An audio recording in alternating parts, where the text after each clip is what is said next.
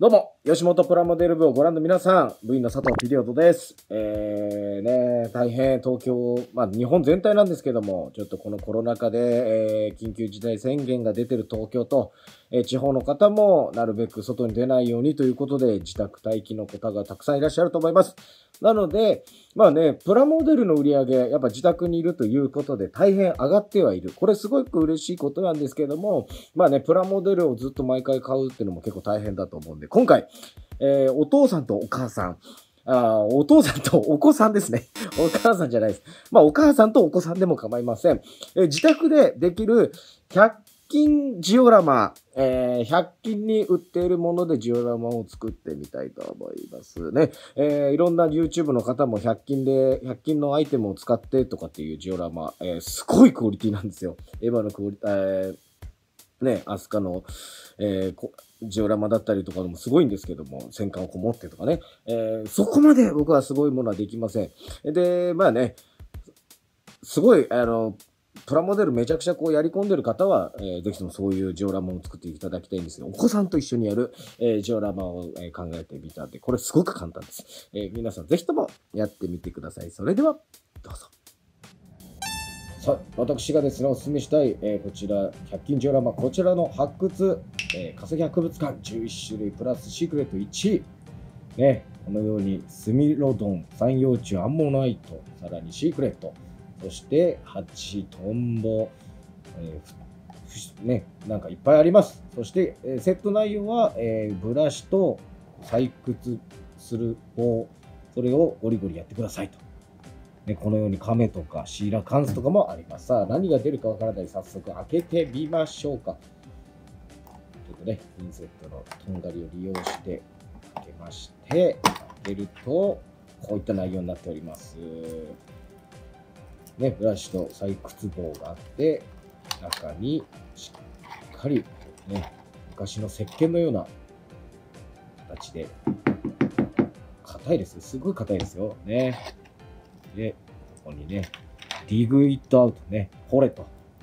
ディグダグっていうね、昔ファミコンゲームもありましたけど、掘れよと。ディグダグしろってことでございます。さあ、次、ディグダグしていきましょう。ね。こんな今、ポロッと取れるぐらい、結構脆い形状にはなってますのでね、すごく掘りやすい形状になってます。これはお子さんができるやつですからね、ディグアウトしていくからで最初ピンセットでやろうと思ったけど、やめたってなって、これね、ヤスリ、ヤスリ硬いですか？らいけるかなと思ってヤスリでやったんですけど、そんないけなかったんでね、採掘棒がじゃどれだけのものか試してやろうじゃないかということで、採掘棒を試したところ、えとても使いやすかったです。さすがダイソーさんでございます。このね、ガリガリガリガリいっちゃってくださいよでございます。なので、早速ガリガリ、ブラシでいこうとして、ガリガリいきたいと思います。こんな感じで。そう。結構ね、ポロポロポロポロしっかり取れてくんですよ。楽しいんですよ、これ。本当にね、なんか化石掘り出してる感覚もあってね。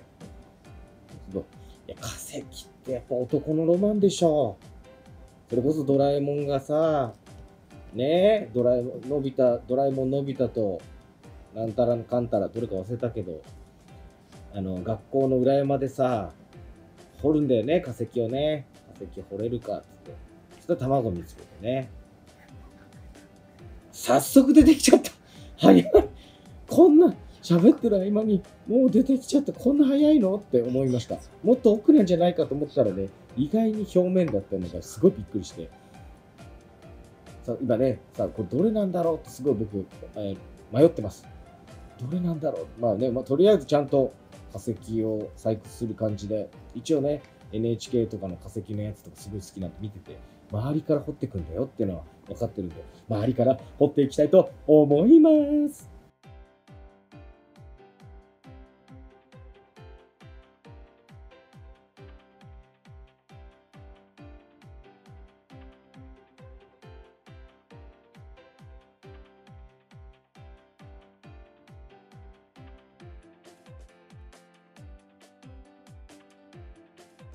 さあ、えー、なんとか全体が掘ることができまして、わかりました。8でございますね。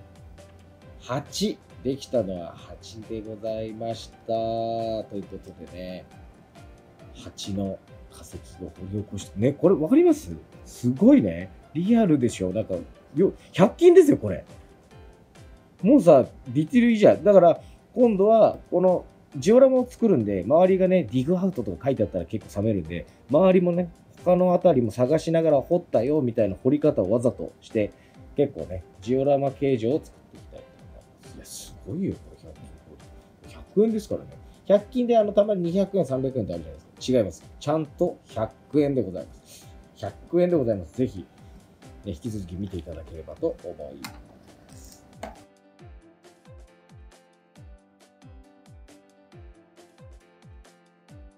ね、一通り、えー、掘り終えて、こんな感じにしました。いいですね。で、これブラシで綺麗にという砂ぼこりを取って、はい。完成でございます。さあ、その周りのジオラマ、また100均のアイテムで作っていきます。はい、えー、ちなみにですけど、下のこの額縁みたいなあれ、これも100均でございます。そして使うのは木粉粘土でございますね。100均です。こちらも100均に売っております。そして木工用どん 木工用ボンドね、このようにピューと、えー、ピューとなんとなく、バーッと好きに、えー、バーッと大胆に塗ってください。それをまずなじませていきます。ゆっくりね、塗っていき、塗り塗り、塗り塗りしていきます。えー、これ何をしてるかというと、木粉粘土なんで、木工用ボンドで固まるだろうという勘でやっております。多分ね、固まりました、結果。なのでも、えー、この木工用ボンド優秀ですから、えー、これをね、塗り塗り塗り塗りしていきましょう。いろんなところ、ちゃんとね、ひっつけたいところに倒れましたけど、持ってってください。ね、隅々なんとなく、グラタンのバターのような感覚でね、グラタンのバターの感覚でください。さあ、それで塗り終えたと思ったら、もうここからは、もう大胆にベタベタ貼っていきましょうよ。こういうの子供さん楽しいよ。ねえ、だって自由なんだもん。ああ、もう形決まったもんない。もう好きにやってもらったらいい。乗りたくないって言っただけは乗らなきゃいい。やだ、好きにやってほしい。お父さんと一緒に好きにやってほしい。こうやって、ペタペタペタペタ貼っていきましょう。ね、親指にもペタペタペタペタひっつくんで、そこは気をつけてください。はい、えー、なんとなく、こうね、日の丸弁当にきちきちに詰めた米みたいな状態ができたら、次はですね、立体を作っていきたいと思います。やはり化石と言ったらこうグランドキャニオンとかね、僕そういうのイメージするんですけど、やっぱりその山あり谷ありなんでね、えー、多少の高さ、低さ出てくると思うんで、そこら辺はまたこれも自由にやっていただければと思います。それでね、あの、すごくね、こうきめ細やかに全部水でこの隙間埋めなきゃいけないのかって思いの方いると思うんですけど、そんなことありません。なぜなら、渓谷、グランドキャニオンとかって渓谷ですごくひび割れた世界なんで、ひび割れてる場所がいっぱいあるんでね、えー、多分ですけど、温めた時に、えー、木船とちょっと縮むんでね、それによってこの隙間がちょっと開いて、すごく地割れみたいな、いい感じのね、多分ディティールができると思う。そこは逆に大いに活用していきたいと思います、もう大胆にペタペタペタペタ好きに貼っていっていただけたらと思います。楽しみましょうよ。ぜひともね。えー、これでペタペタしていくと、こうなります。こんな感じになりました。あ、いい感じですね。なんか、いい日光でいい段差があって、ちょっとすごいいい場所から見つかったんじゃないかって感じになります。乾燥させていきましょう。乾燥させると、見てくださいこんな感じでね、すごくいいひび割れ生まれましたね。いいですよね。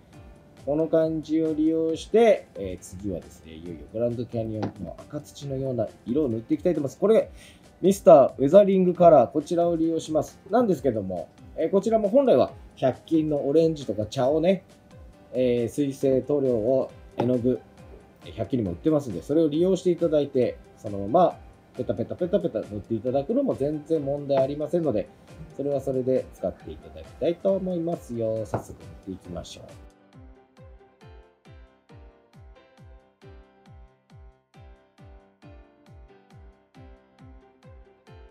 う。はい。えー乾燥させますとこんな感じで、ね、多少濃く塗ったとこは、えー濃いめの色が塗ってるんで陰影もそれでつけれるんで、えー楽しんでいただけたらと思います。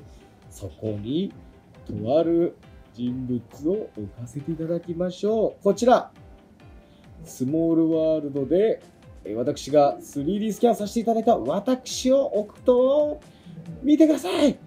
化石ゲットだぜっていうね。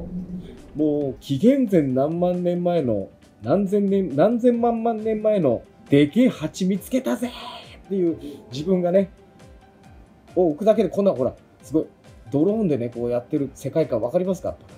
見つけたよ皆さんみたいな。いいですよねこの質感とグランドキャニオンの渓谷の感じ。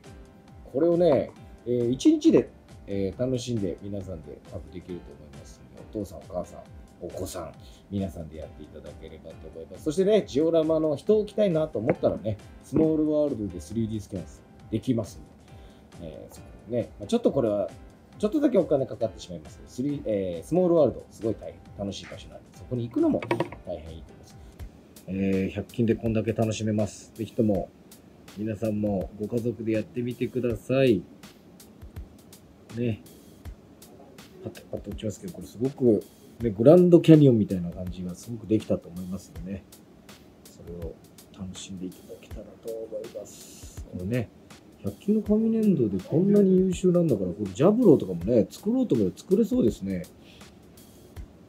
ちょっと今度その辺もチャレンジしてみたいと思います。ということで、以上、佐藤ピリオドの YouTube 動画でした。あ、落ちた。